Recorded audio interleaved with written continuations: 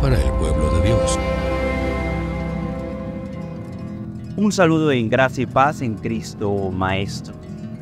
Hoy en este día el Evangelio nos regala cómo el Señor levanta a un paralítico.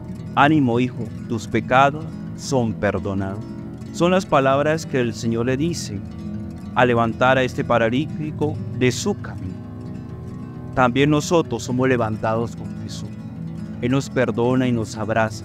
Y como hizo con el paralítico, lo integra a la vida comunitaria, lo entrega esa vida de Dios por medio de su palabra, que su palabra es vida y salvación.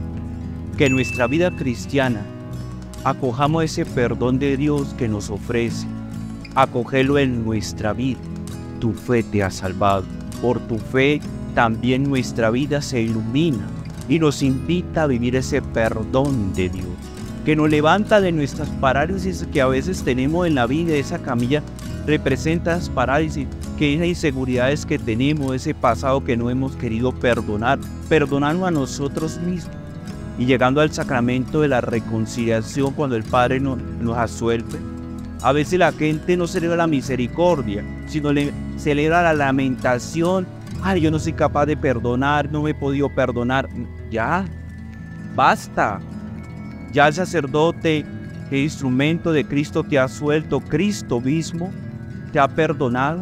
Ve y obra con misericordia lo que Dios ha hecho en ese sacramento contigo, con los demás.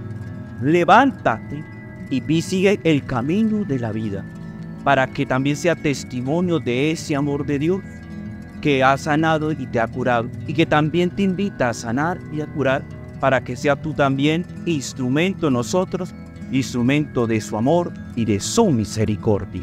Suscríbete a nuestro canal y no olvides activar la campanita. Más información, sanpablo.com.